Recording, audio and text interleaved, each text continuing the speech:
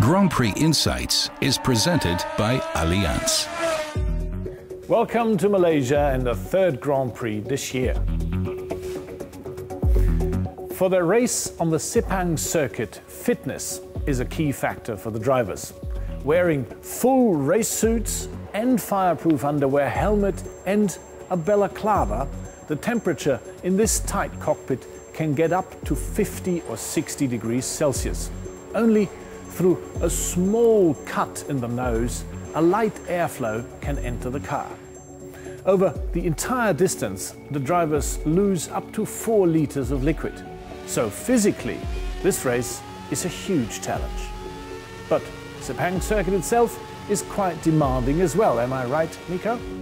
Yeah, it's very demanding, as well as technical as physical. I mean, from a driver's point of view, it's very tough because it's 45 degrees out there and, and a lot of humidity. So uh, there's also a lot of high-speed corners, which make it very, very physical for a driver. But also, you need to find a good, good compromise for the setup to, to have a good, quick and stiff car in qualifying, but also to have a not too demanding car on the tires for, for the race. And the right choice of tyres is vital at the Malaysian Grand Prix. Despite two long straights, the teams select a setup with a lot of downforce. This and a high level of grip are tough on the tyres, especially at the start with a full tank. Plus, it can rain at any time, which in 2009 even led to the race being stopped. And there's one other factor to watch. The circuit is, is a full-time circuit, but it's not used as much as some other circuits. So there's always a progression as well.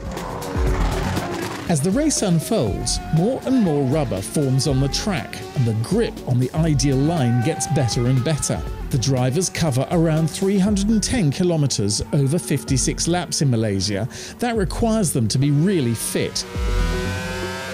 Forces of 4G pull at them here on this section. Then comes a key point of the circuit, turn 14. It's difficult to see into the entry to the corner, yet the aim is to take as much momentum as possible with you onto the first of two subsequent straights and on your way to lap 2.